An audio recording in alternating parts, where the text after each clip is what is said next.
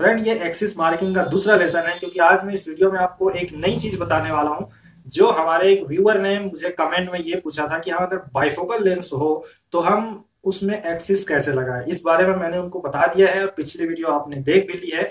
यहाँ पे सबसे बड़ा सवाल आता है कि अक्सर हम 90 या 180 के लेंस को बड़ी आसानी के साथ एक्सिस लगा लेते हैं सिंगल विजन में। लेकिन अगर बाइफोकल हो और इनका एक्सिस चेंज हो, यानी कि सत्तर हो, पचास हो, पैंतालीस हो, ऐसे में जब उस एक्सिस में आप लगाते हैं तो जो लेंस का जो चाँद होता है एक मिनट में आपको दिखा देता हूँ। ये देखिए, आप यहाँ पे लेंस का वो चाँद देख रहे हैं, इसको राउंड टॉप बाइफोकल बोलते हैं। अगर मैं इसको लगा दूँ, चालीस लगा दूँ तो ये ऐसा घूम जाएगा, ये फ्रेम से बाहर हो जाएगा। इस तरीके से आप देखिए गलत हो जाएगा और फ्रेम से बाहर हो जाएगा। तो ऐसी स्थिति में हमको क्या करना चाहिए? कौन कौन से एंगल मार्केट में अवेलेबल है और उनको कैसे यूज़ किया जाता है? ये वीडियो कंप्लीट उसी के बारे में है। मैं आपको बताऊँगा कि 135 डिग्री 45 डिग्री 150 डिग्री को भी कैसे आप लगा सकते हैं और ये रेडी स्टॉक भी आप ले पाएँगे। बने रही होम टॉक चैनल पर, देखते रहिए हमारा ये नया सीरीज़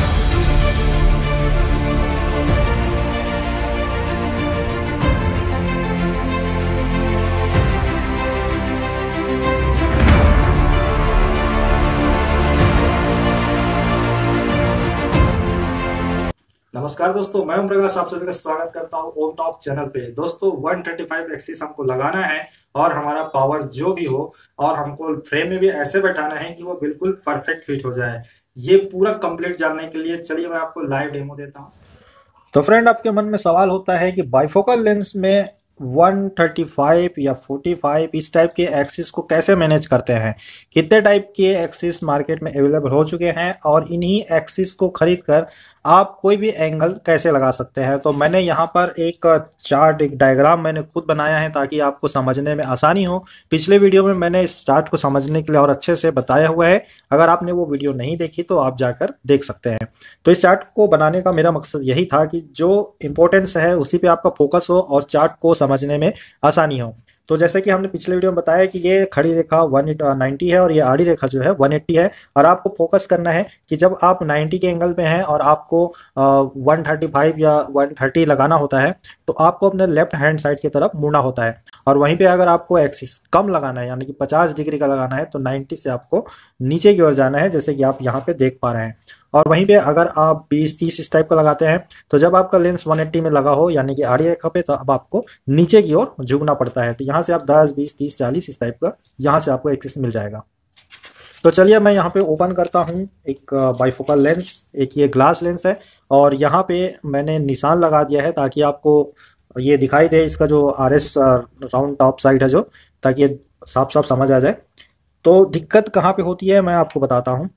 जनरली इस टाइप के लेंस जो है 180 प्लस में हो तो 180 रेडी स्टॉक मिलता है और माइनस में हो तो 90 रेडी स्टॉक में मिलता है। लेकिन अगर ऐसे भी पावर ऐसे भी नंबर आ जाए एक्सिस लगाना आ जाए, जहाँ पे आपको 130 डिग्री लगाना हो तो लेंस नहीं मिलेगा तो फिर आप कैसे लगाएँगे? तो ये दिक्कत अब बहुत सारे सिटीज़ में ख़त्म हो गई है क्योंकि इस टाइप के एक्सिस आप यहाँ पे देख पाएँगे। फोर्टी फाइव और थर्टी फाइव एक्सिस जो है मार्केट में अवेलेबल हो चुके हैं बाइफोकल लेंस के साथ। कहीं कहीं पर वन फिफ्टी का भी मिलता है, लेकिन इसको मैं अभी हटा देता हूँ क्योंकि सभी जगह ये अवेलेबल नहीं है। तो वन फोर्टी और वन थर्टी फाइव ये एक्सिस घुमा हुआ आपको मार्केट में मिल जाता है। तो हम मान लेते हैं कि ये एक नाइन्टी एक्सिस में है। माइनस नंबर है, समझ लीजिए इसको, और ये 90 में है। तो 90 वाला जो लेंस होगा वो इस तरीके से इसका एक्सिस आएगा। अब आपको यह लेंस जो है राइट में लगाना है, ठीक है? ये माइनस नंबर है और आपको इसको राइट साइड में लगाना है, यानी कि इस तरफ़ लगाना है, इस तरफ़ फिट करना है और इसका जो एक्सिस है, वो एक्सिस 130 है। तो 130 में हमको कोई दिक्कत नहीं है। आप इसको जो है सीधा सीधा इस तरीके से घुमा देंगे। ये 130 में हमने घुमा लिया और इसको सीधा सीधा लाइन खींच लिया। ये इस तरीके से हमने लाइन इसको खींच लिया। अब ये हमारा जो जो गोला आ रहा है, ये नीचे का जो चाँद आ रहा है, वो काफ़ी घुमा हुआ नज़र आ रहा है। जब हम इसको फ्रेम में फिट करेंगे तो वो इधर चला जाता है। काफ़ी ऊपर या फिर इस तरफ़ ज़्यादा हट के आ रहा है। तो आपको करना क्या होता है, इसको थोड़ा सा लेंस को पीछे की ओर खींचे, जहाँ तक आप खींच सकते हैं। यहाँ तक आप इसको फिट कर पाएँगे तो कोई दिक्कत नहीं आएगी। आप बड़ी आसानी से इसको फिट कर सकते हैं। अगर फिर भी आपका फ्रेम बड़ा है और फिटिंग करने में दिक्कत हो रही है, तब जाकर आपको जो है, उस एंगल के लिए आपको रेडीमेड एक्सिस मिल जाएगा 135 का। वो ऑटोमेटिक ही घुमा हुआ रहता है।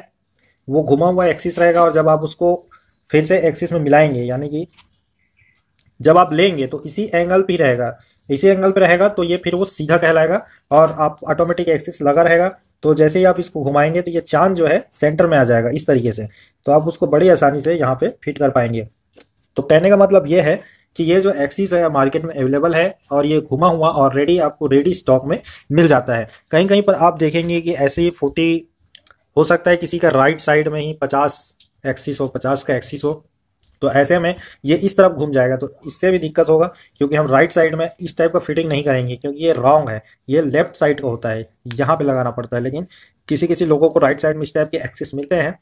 तो इसके लिए भी आप thirty five sorry forty five angle में रेडीमेड आपको मिल जाएगा स्टॉक में। आप सीधा सीधा उसको जाएँगे परचेस करेंगे तो जैसे ही आप उस लगन लुगाया ही मिलेगा तो वहाँ पे आपको सीधा 90 एंगल निकालना है। जो एक्सिस है वो लगा देना है। तो चाँद आपका अपोजिट डायरेक्शन में घूम जाएगा और सीधा आप लाइन खींच देंगे। तो उस तरीके से आपका लेंस जो है बड़ी आसानी से फिट हो जाएगा। तो ये होता है 45 35 एंगल में एक्सिस लगाने का एक तरीका और जो लेंस मार्केट में अवेलेबल है, वो सभी चीज़ें आपको जानकारी मिल गई होगी। अगर आपको किसी प्रकार के डाउट है कमेंट में लिख सकते हैं। कोई और जानकारी चाहिए तो मुझे वो भी बता सकते हैं।